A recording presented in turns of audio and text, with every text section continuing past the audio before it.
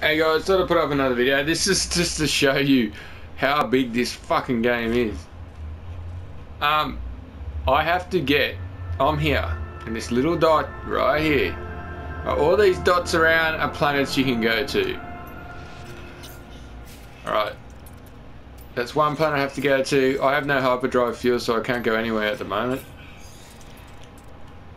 Just remember, all these dots around these dots are other planets you can visit.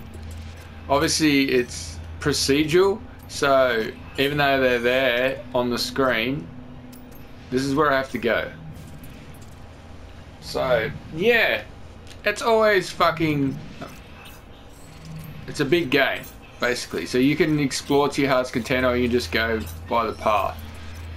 So I am where that yellow marker is.